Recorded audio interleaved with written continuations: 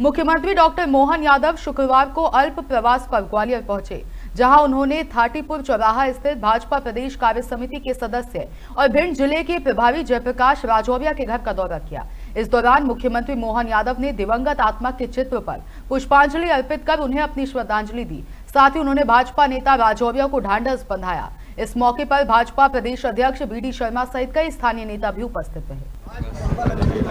मैं आज यहाँ हमारे स्वर्गीय ओम प्रकाश राजौरी जी के यहाँ शोक बैठक में आया था।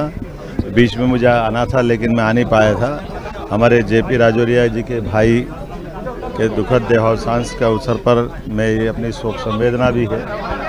मैं परमात्मा से महाकाल से कामना करता हूँ, उनको मोक्ष प्रदान करें।